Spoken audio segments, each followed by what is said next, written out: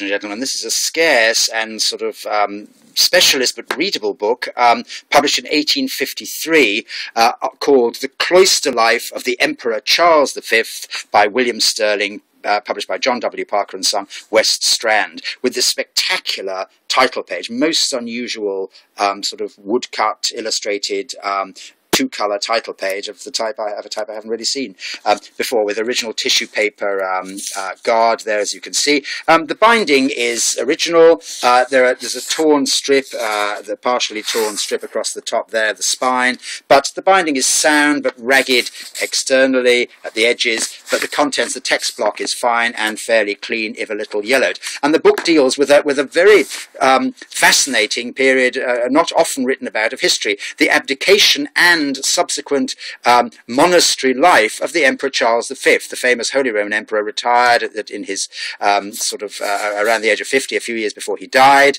uh, only a few, very few years before he died.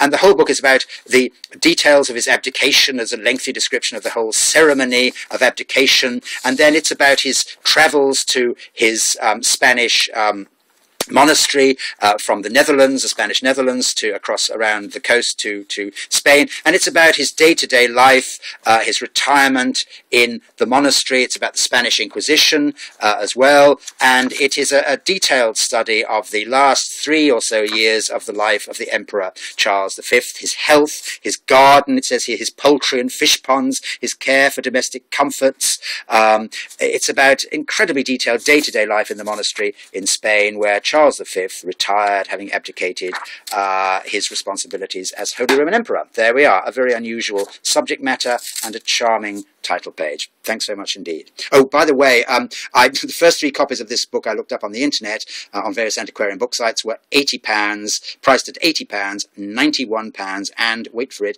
£341. Okay, so my starting price is rather less than that. Thanks very much indeed. Bye.